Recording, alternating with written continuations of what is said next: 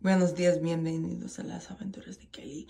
I am so tired of people saying the same damn shit.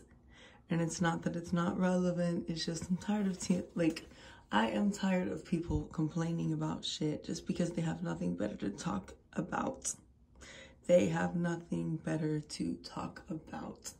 So here I am doing my thing, getting half naked, and I cannot wait for stand up comedy shit to open back up again.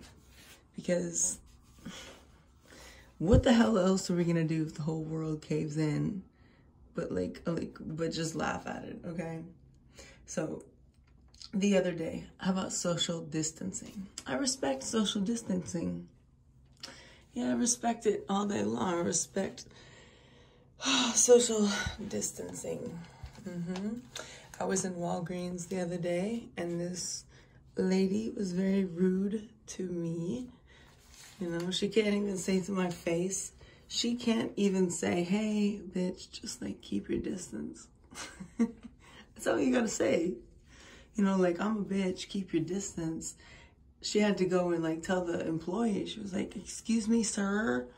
Um, uh, this girl here is is is in in a, very close to me, and um, I I heard that like what is the the the duct tape on the floor is for a twelve foot um social distancing, and what I said to her was, oh no I don't I think you might be mistaken, ma'am. I think it's actually twelve inches. And she said, no, no, no, that, there's no way that's correct. There's no way that's correct. Let me ask again.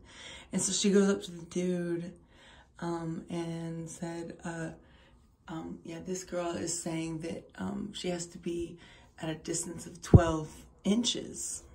And I said, oh, you mean distance from you? well, then that solves the misunderstanding in the first place. Because what I was talking about is with your attitude up in my face I was talking about the 12 inches that your husband mentions. Fuck, I fucked it up. I was talking about the 12 inches from when your husband fucked me last night.